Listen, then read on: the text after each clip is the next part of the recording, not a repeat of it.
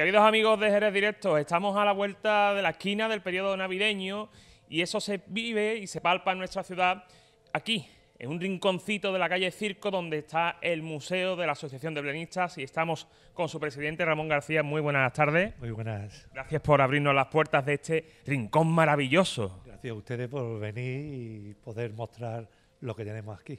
Eh, Ramón, estamos trabajando en pos de, que esto, de que este museo maravilloso del Belén sea de bien interés turístico, ¿no?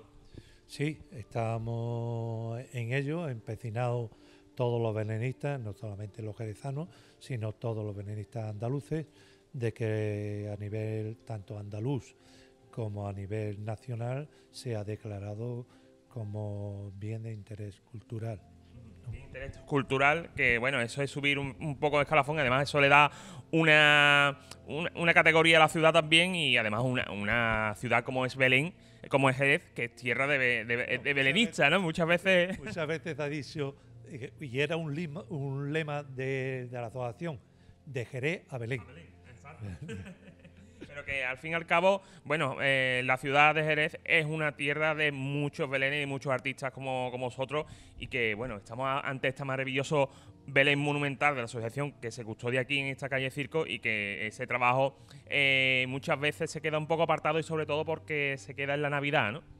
Sí, pero nosotros tenemos en mente de que como museo es no importa el tiempo, este museo está abierto todo el año, desde enero, desde el 1 de enero hasta el, eh, hasta el 31 de diciembre, o sea, todo el año, menos lo que son, que son lunes, martes, miércoles y jueves, y otros días que, son que previa eh, llamada, pero que está abierto todo el año.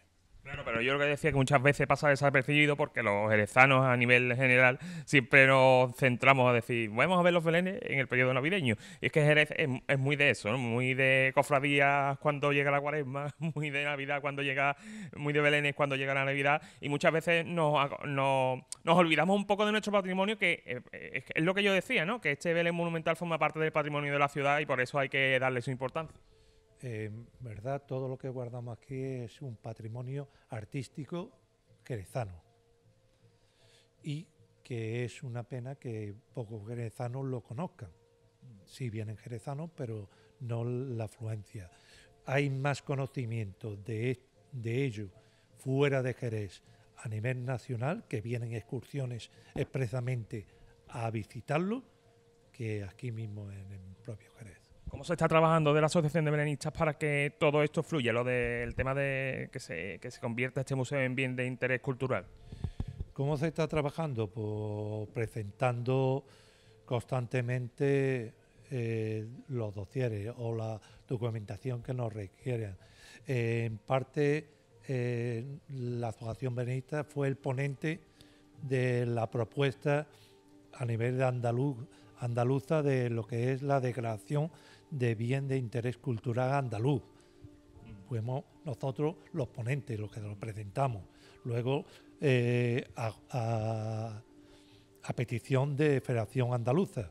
Pero bueno, eh, nos quiera que porque nosotros seamos los más eh, veteranos dentro de este mundo pero sí le ponemos toda nuestra carne en el atador y toda nuestra ilusión para poderlo llevar adelante. ¿no? Pues Ramón García, muchas gracias por, atender a los micrófonos de directo y a seguir trabajando por esto tan maravilloso. Sí. Quería decir también que Jerez va a ser el día 9 de enero eh, centro del encuentro andaluz belenistas.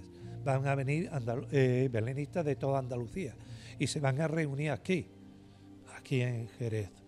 Justamente tras el periodo navideño. Eh, sí, pero que van a ver eh, justamente la semana siguiente del periodo navideño. Pero también eh, con ello estoy diciendo de que el belenismo no solamente es belenes, sino también promociona un nivel turístico, porque estamos vendiendo el nombre de Jerez y, y no vienen para un día, que el encuentro es un día, sino hay muchos que vendrán desde el jueves para hacer turismo en Jerez. Y para el 2023, Jerez será una de las sedes a nivel del, Congreso Internacional. Vendrán de todo el mundo y vendrán mm, prácticamente pues cuatro o cinco días antes. Aquí Jerez estarán tres días, pero vendrán gente mucho antes. Pues muchas gracias, Ramón. Gracias.